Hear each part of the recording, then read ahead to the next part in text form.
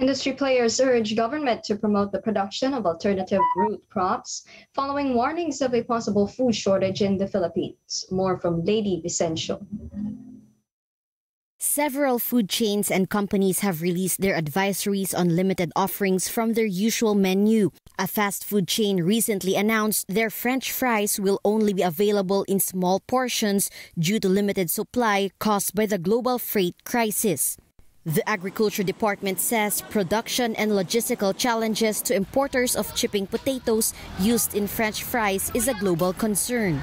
Yung sa patatas po natin, yung pinoproduce ng ating mga magsasaka, which are the table potatoes and white potatoes, wala po tayong shortage. Sufficient po tayo. So kung gusto niyo po magnilaga, mag, uh, mag-apritada, pwede po po kayong mag-apritada.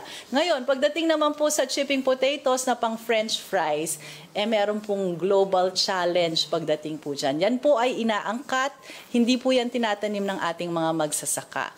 So if you are a distributor ng french fries, maybe this is your concern. No? Again, as far as the production of our local, no, yung ating mga magsasaka, very sufficient ang ating mga patatas. Aside from chipping potatoes, some food companies say the limited supply of raw materials such as flour is affecting their product offerings. The food industry isn't just being saddled by logistics problems. The Russia Ukraine crisis is also a major concern because 30% of the world's wheat production comes from these two countries. Governments are now taking steps to ensure their food security. India has banned wheat exports. Argentina eats beef and palm oil for Indonesia. We're not hopeful that this thing will resolve itself very quickly.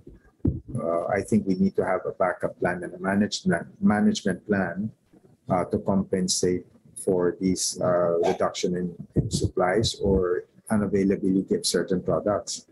Uh, last night, I was talking to some of our members. I was encouraging them to look for more local alternatives. With the limited supply of wheat used for flour, the bakery industry is seeing delays in deliveries.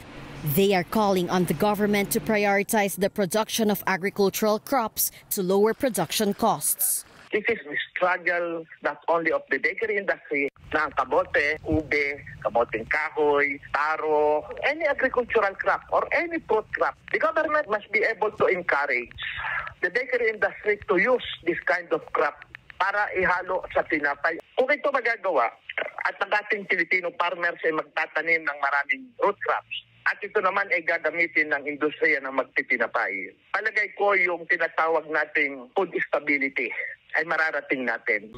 Agriculture Chief William Dar has recognized the need to elevate local food production and the additional budget to implement it. Lady Vicencio, ABS-CBN News.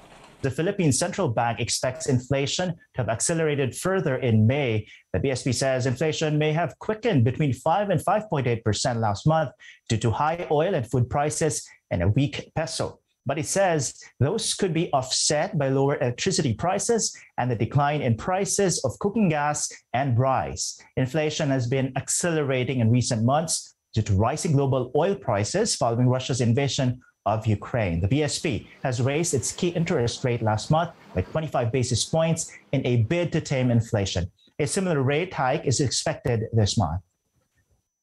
The Philippine Health Department reports five more cases of an Omicron subvariant. The cases were detected in Western Visayas. Three of the patients were returning Filipinos from the US, all of them fully vaccinated. The other two were local cases, also fully vaccinated. There are now 22 confirmed cases of the BA.2.12.1 Omicron subvariant in the country. Moderna's COVID-19 vaccine now allowed for younger children in the Philippines. Philippine drug regulators on Tuesday approved the jab for more for those aged 6 to 11.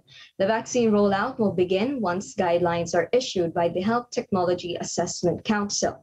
The Philippine Food and Drug Administration previously approved the use of Pfizer's reformulated jab for children aged 5 to 11 and Sinovac's COVID-19 vaccine for ages 6 and older.